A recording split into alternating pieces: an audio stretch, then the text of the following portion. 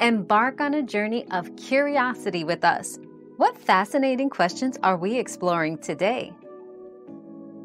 Linux systems, while praised for their security and open source nature, face certain weaknesses. Compatibility issues with mainstream software and hardware can be a hurdle, as not all vendors provide support for Linux. Additionally, there's a steep learning curve for users transitioning from more popular operating systems, which may deter adoption. Despite its robustness, fragmentation across different distributions can lead to inconsistency in user experiences and support.